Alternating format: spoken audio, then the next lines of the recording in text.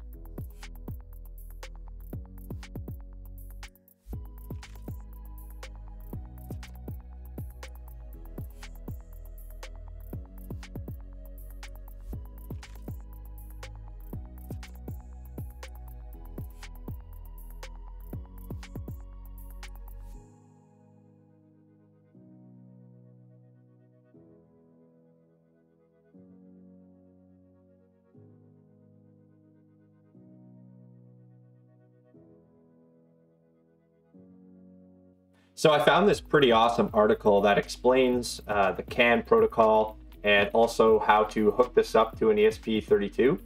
Um, they used a different CAN transceiver from the one I have, which is the only uh, sort of novelty that I had to deal with, although it wasn't too hard to figure out. So they're using um, this CAN transceiver right here, uh, which is based on the TJA1051T.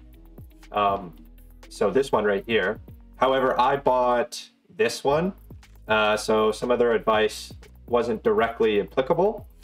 Uh, for example, they, they connected these 10K resistors for some reason between uh, the transceiver and the ESP32. I tried that, but it didn't work with these.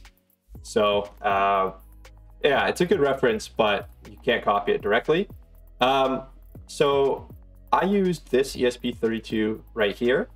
And one thing you have to keep in mind is that um, as this image actually does depict, you need to connect uh, a CAN TX pin, which can be in any pin of the ESP32, um, uh, well, any GPIO pin, and you need to connect that to the TX of the CAN transceiver, which is a little counterintuitive. Usually UARTs go from TX to RX, but that's not the case here. You want CAN TX to connect to TX. Uh, and also, this doesn't have to be the UART pins. As a matter of fact, um, I did not use the UART pins. I just used the GPIO pin that was not a UART pin. Maybe it works, maybe it doesn't, but you don't have to do that. So I used um, GPIO uh, 4 and 0 right here. Um, and uh, I'll show you how I hook that up. So the other thing to keep in mind is we're going to need some sort of CAN driver uh, for the system. And luckily, um, this article links us to um, this GitHub repo, which I have pulled up right here. Uh, so you can take a look at this. So I, I, was just reading the README file. It says it works with ESP32. Uh, great. So uh, I just git cloned it and uh, installed it as an Arduino library. So um, for example, here you can see I did the git clone and then I put it in my downloads folder. And then what you do is you go to sketch, uh, include library, add a, add a zip library, um, and then you uh, go to the place that you install it. So I've already done that. So if I do it again, it'll just say like error, you've already installed this. Uh, but yeah, you're gonna need to do that. Uh, another thing you're gonna need to do is open up, well, yeah, I guess before installing um, the library, just go make a new sketch.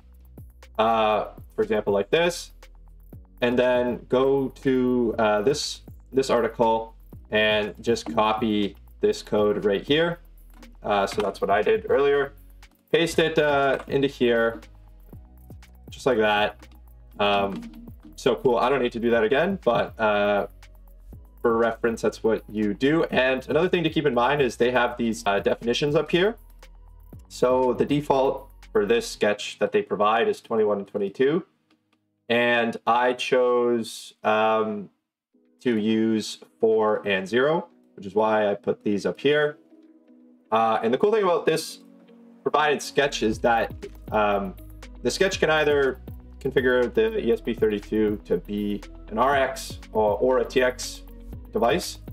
So the way you uh, switch that around is you just uncomment uh, here and here. So this one is going to be a receiver, and this one's going to be a CAN sender. Uh, and then you just uh, flash the sketch onto uh, your devices. So we are now ready to flash uh, our ESP32s. On the left here, I'm going to flash the CAN receiver code, and on the right, I'm going to flash the CAN transceiver code. Uh, so here on the left, um, we'll just double check what port we're using. COM6, cool. Then I will click upload. It's gonna ask me if I wanna save it. No, I do not. Um, and as always with ESP32, we have to hold down um, the reset pin uh, as it flashes. So I will do that. Another thing we have to do uh, for some reason is disconnect the uh, power to the CAN transceiver. I kind of just figured this out through trial and error. It wasn't working until I did this. Uh, a little strange, but uh, regardless, that is how you make it work. Uh, and on the right side here, we will select COM10, cool, and we will click upload and then do the same thing. So I will hold on to the reset and then I'm going to disconnect power and it is now flashing. And I will hook this back up. So now uh, we can open the respective serial monitors. So this would be the receiver one. And then here I'm going to open up the transmitter serial monitor and I will press both of their reset buttons. And uh, what's going on with COM6 here?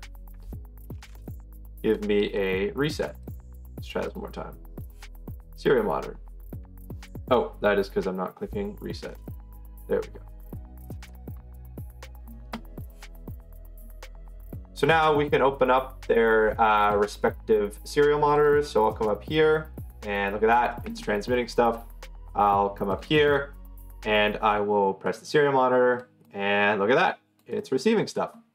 Uh, so that uh, kind of shows that everything's working. And uh, another thing we can do just to kind of prove that it works is we'll just change the message uh, slightly. So we'll come here, we'll click uh, one, two, three. Uh, let's flash that onto the transceiver. Um, so we can see here that it has stopped sending packets because it is flashing. I will um, do the whole reset of the ESP32 again. Connect this back in. And let's press uh, onto the reset button of the transceiver. Cool. Now we are transmitting a different message. Hello, one, two, three. And there you have it. We have a working CAN bus system with the ESP32 microcontroller.